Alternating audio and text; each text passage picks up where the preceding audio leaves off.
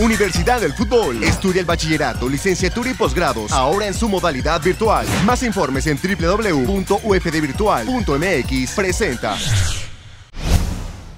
Y bueno, pues fue una semana completa de fútbol. El lunes las Tuzas recibieron a las Chivas Rayadas del Guadalajara en este partido de ida de la final. Pero el martes los Tuzos recibieron a los Potros de Hierro del Atlante en semifinal. Pachuca ganó este encuentro y el color lo tiene preparado Daniel García.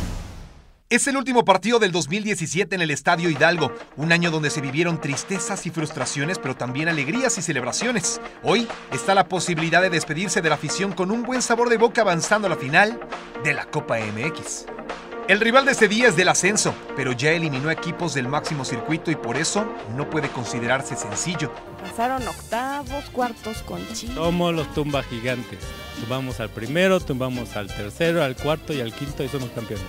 Yo estoy seguro que va a pasar el Atlante. ¿Está seguro? Y ojalá y no sea en penaltis. Además, este, el Pachuca pues, trae un gran equipo y va a ir al Mundial de Clubes, entonces va a ser de mayor este, orgullo ganarle al Pachuca. Híjole, entonces ya, yo ya lo siento muy seguro. Híjole, ya lo siento Imagínate, muy venimos desde la Ciudad de México a verlo. Sí, saben quién juega, obviamente. Pachuca contra Atlante. Atlante. Muy buen equipo, ¿eh? Sí, ¿cuál de los dos? El Pachuca, por favor. ¿Quién es su jugador favorito? ¿A quién, quién, quién creen que es el mejor del Pachuca? Chucky, Chucky. Pero ya no está aquí. no, lo era, lo era. Era. Lo era, pero ahora onda. Mientras las tribunas comienzan a poblarse, los tuzos salen a calentar bajo la mirada de los aficionados que observan de cerca cada movimiento, aguardando por un momento de felicidad en el que ellos puedan conseguir una firma o mejor aún, una fotografía.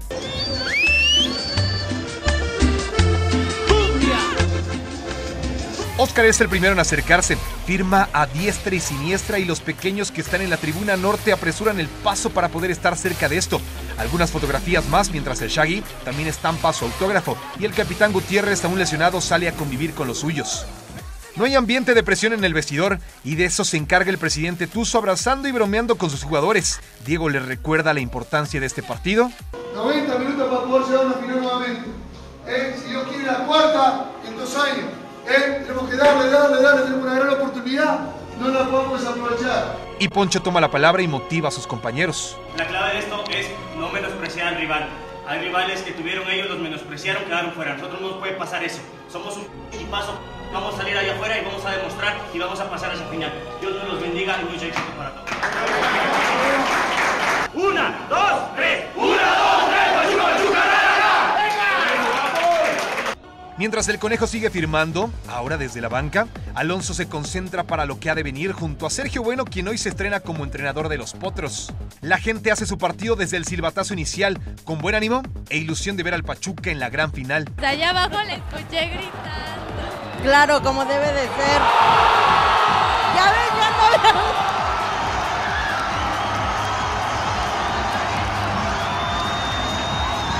Muy temprano, Omar González adelanta local y confirma las esperanzas de todos los tuzos. Pero yo creo que nos vamos a llevar la femenil y la copa. Ojalá, esperemos. Buen, buen papel en el Mundial de Clubes. Yo creo que no podemos exigirle al equipo con tantas alegrías que nos ha dado. Y aparte, pues es como todo, tampoco podemos pedirle que siempre ande al 100. Entonces, una con otra, tiene el Mundial de Clubes, mejor que se concentren, que vayan con todo y que traigan un buen resultado. Los que no lucen tan contentos son los aficionados del Atlante que llegaron en gran número por el arraigo de este equipo en la Ciudad de México, aunque su regreso a la capital luce muy lejano.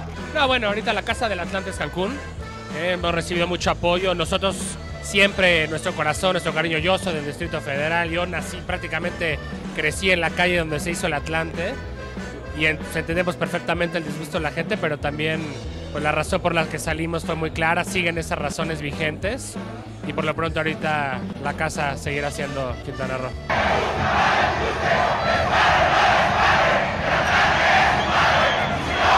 Chamfle de Urreta Vizcaya para que Guzmán ponga el 2 a 0 y caliente el huracán.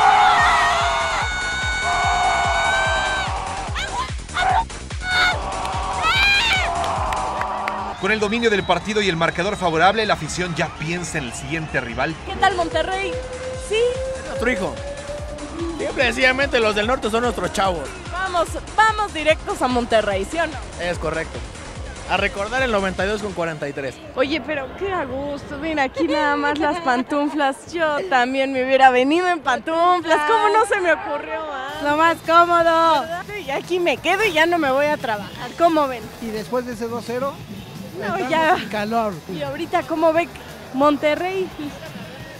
Este ya lo tenemos medido. Nos gusta la sultana. Así, Esa es nuestra segunda casa. así es, ya, ya tenemos ahí medido a Monterrey. Una y otra y otra vez. Pachuca toca la puerta azulgrana pero no consigue abultar el marcador. Sin embargo, en las tribunas están contentos, ilusionados con el equipo y esperanzados que el buen fútbol se muestre también en el Mundial de Clubes. Sí, la verdad es que para el Mundial de Clubes, pues ya ahorita se está viendo mejor, este, me, me gusta más cómo se está viendo Honda, ya un poquito más suelto, ya no tan pesado. Y pues ojalá él sea el que nos dé un, un buen gol ahí en el Mundial de Clubes. Sí, vamos a ser campeones. Junto con las Tucitas, vamos a festejar al doble. 2-0 termina ganando el Pachuca con mucha facilidad. Se cumplió uno de los objetivos que era avanzar a la gran final de la Copa MX. No había otra manera de despedirse de esta afición que en el 2017 siempre mostró su apoyo y que estamos seguros que el siguiente año lo volverán a hacer. Nos vemos en el Hidalgo en el 2018.